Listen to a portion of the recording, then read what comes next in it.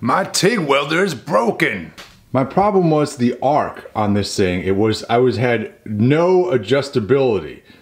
I would strike up an arc and it would just go straight to full amperage. Like there was no, no ability to, uh, to fine tune the amperage via the foot pedal, right? So if you turn my machine on, you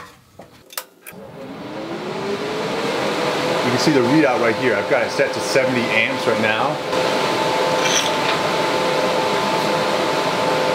Right, now strike up an arc.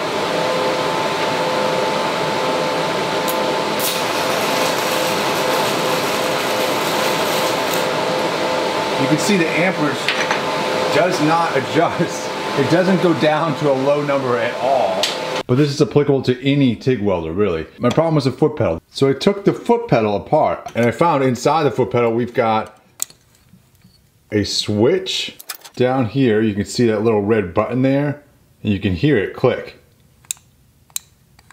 So when you put your foot on the pedal, it opens up that switch and allows the circuit to go through or whatever, right? Then over here, you can see we've got this little potentiometer thing that varies the amperage. That's supposed to vary the amperage. And so you can test these things. On mine, it happens to be set up where I have to take these little screws off and take this little plate off of here first and then I can get these other screws down here off and get to the potentiometer and then I can test that. And you can also do the same thing and test it over here on the other end, the wire where it plugs into the actual machine. You can test it here as well. Got to take stuff apart here first so we can get to the wires.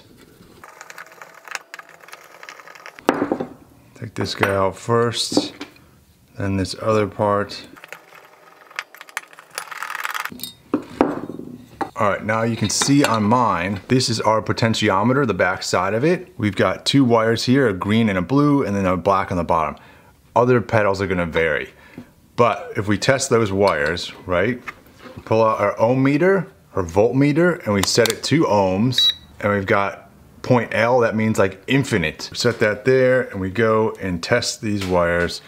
Go between the green and the blue, and then I'm gonna be operating this potentiometer, sliding this thing up and down. It reads 10.5 on one end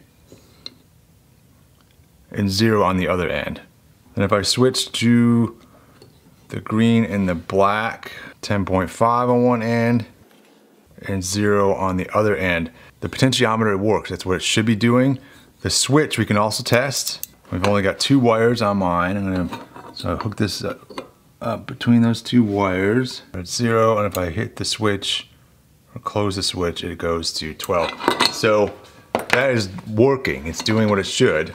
So it's not here right? If we go to the other end we go to the other end of our switch right? And I had to take this this little guy here goes on the end here. I had to undo a couple bolts and slide this back.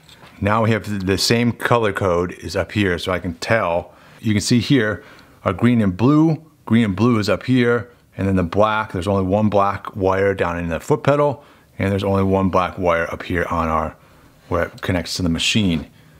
All right, I'm gonna start with the green and blue. Test those first. All right, so you can see it's reading, switch it, it's doing what it's supposed to. Green and blue are working. I'm gonna go check the black one.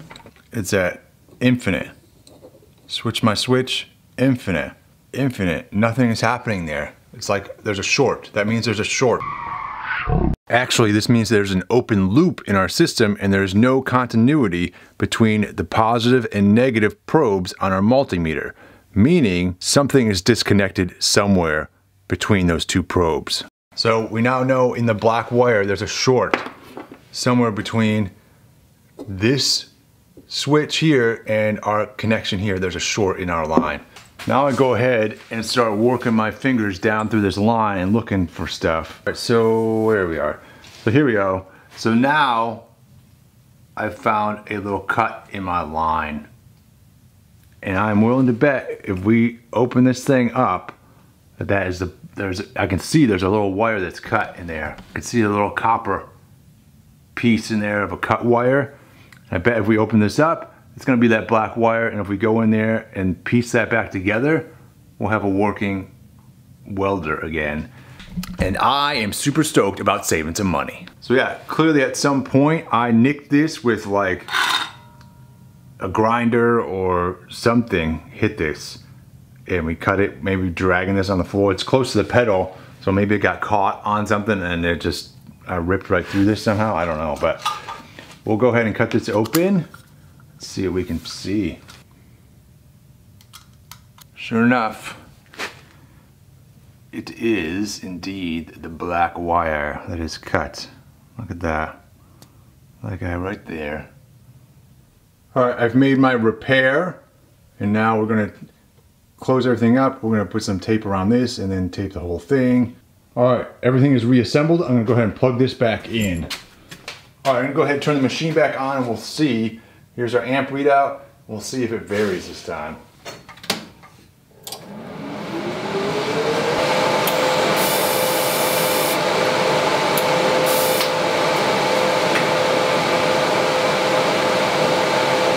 Oh, yes. All right, so well, mine turned out to be a cut wire, and that's pretty simple. I'm hoping the techniques, procedures, etc. in this video help you out and help you figure out your problem with your foot pedal. Definitely start with the foot pedal first if you're not getting an arc variation or you're having trouble initiating arc, that sort of thing. Start with the foot pedal, check that out, go from there. Thanks for watching.